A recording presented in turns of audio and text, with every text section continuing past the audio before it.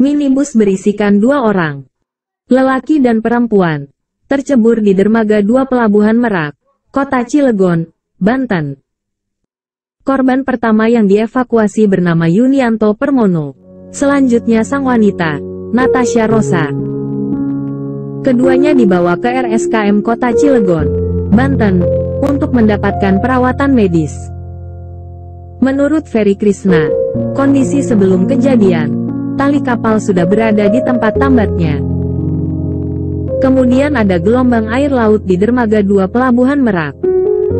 Dugaan sementara, karena alun itulah kapal agak menjauh dari saiteram atau jembatan penghubung dari dermaga ke kapal, dan menyebabkan mobil minibus terjatuh ke air laut.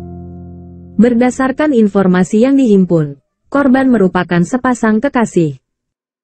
Korban wanita mengajak kekasihnya ke Sumatera untuk bertemu keluarganya kemudian ziarah ke makam leluhurnya.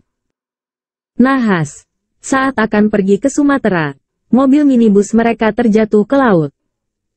Kini, kepergian mereka ke Palembang dan Lampung dipastikan tertunda.